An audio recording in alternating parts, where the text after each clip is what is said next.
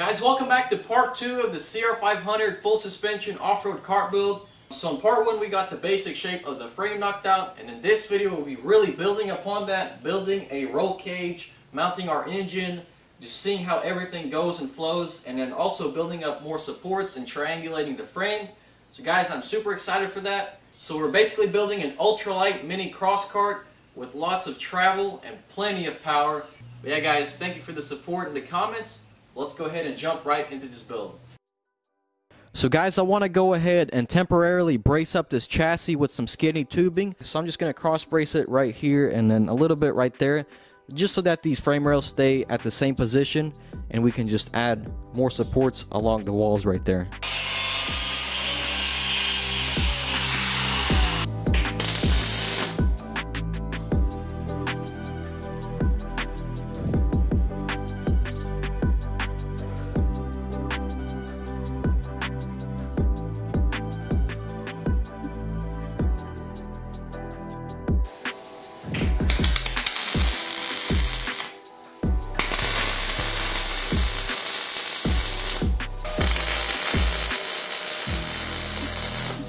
So this is where I want to mount my seat. So I checked my head sits about right here and with the helmet it'll probably be like this.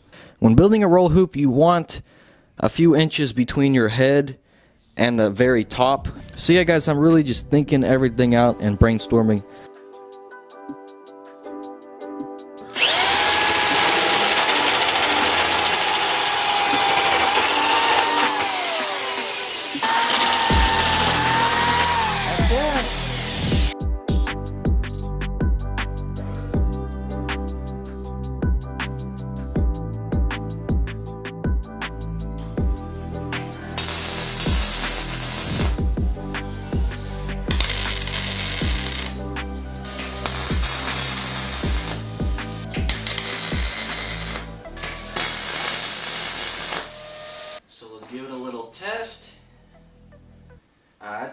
About half of the metal that we're gonna add. So, I mean, I'd say what, 30, 40 pounds?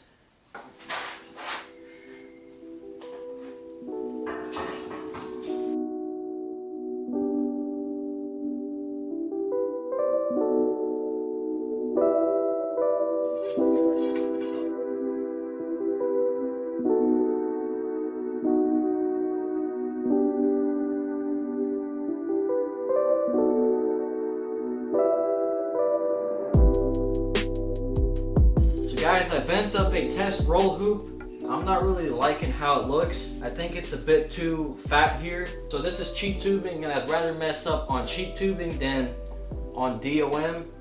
I'm gonna have my roll hoop out of DOM, one inch 083. And there's most likely gonna be a second roll hoop just to give me that extra safety. So we're gonna go ahead and bend up another test piece and see how we like that. Okay, that is much better. So I'm leaving a few inches here for helmet clearance. Now the seat has multiple layback angles. This is 20 degrees, 35, and you can even have it at 90 degrees. I think I'm gonna have it like at 20.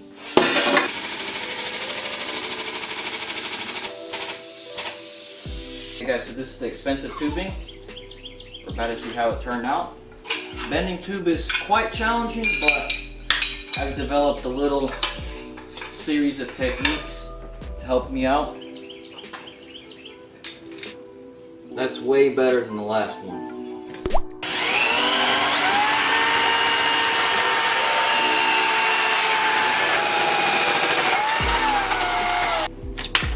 So guys, we got the roll hoop bent out and I'm really liking how that looks, but uh, just check these notches out. They took a few tries to get perfect. So we're gonna go ahead and double check the measurements and then we'll tack the roll hoop on.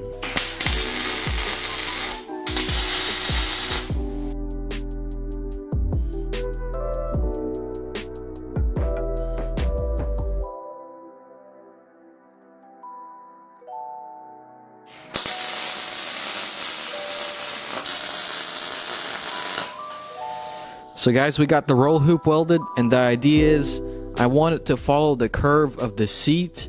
So for all you safety freaks out there, There is probably going to be an additional roll hoop or even a roll cage. I'm still not sure yet. I'm going to gusset it and brace it from the back. Now, when building like a high horsepower car, your roll bar has to be one piece from the very floor all the way to the top. So we can't afford to do that on this build because we'll be running coolant lines through the frame so we can mount our radiator up front.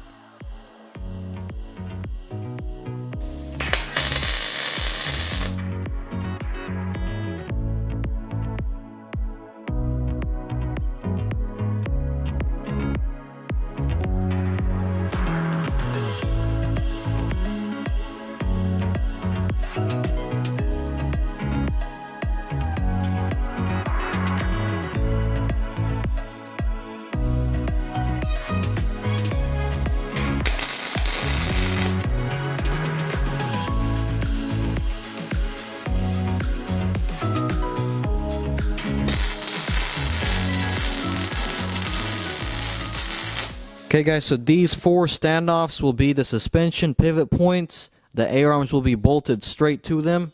So yeah, let's hope these are pretty freaking straight because I already welded them in. There's going to be a tube that goes right there, so they have to be welded.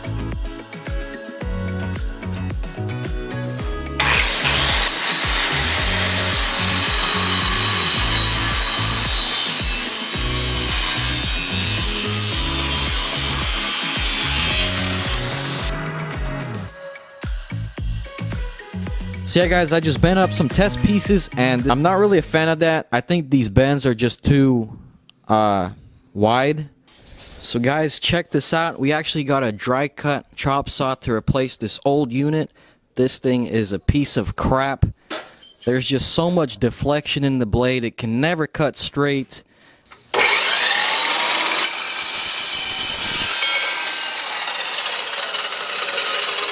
Wow, this thing really cuts amazing.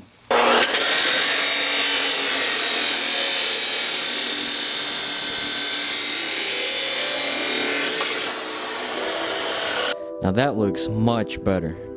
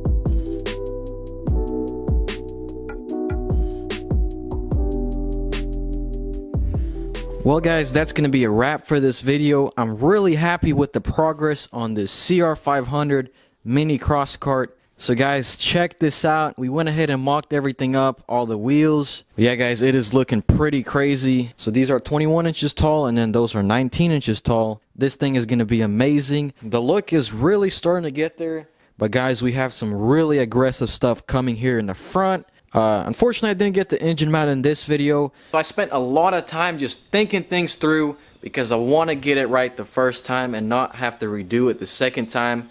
So I'm just really thinking everything out, making sure our chassis is stiff, strong, and light. I'm really just working with what I have, but I hope you guys enjoyed the video. If you did, leave a like down below. Consider subscribing and ringing that bell so you don't miss the next episode. So big thanks to HTP for sending me their lineup. The welder's just well phenomenal, so check them out in the description. And also thanks to Go Power Sports for sending me the parts that I need for this build. But I'll have to see you guys in the next video. Stay tuned and peace.